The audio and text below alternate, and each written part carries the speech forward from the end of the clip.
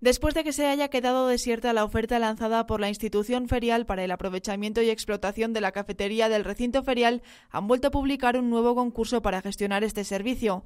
Esta vez no se establece una cuantía mínima como condicionante, así que la adjudicación recaerá en la empresa que oferte la cantidad económica más alta.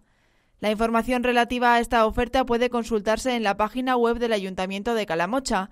El plazo para presentar candidaturas termina este jueves 25 de febrero y el viernes 26 se celebrará en el consistorio la apertura de sobres.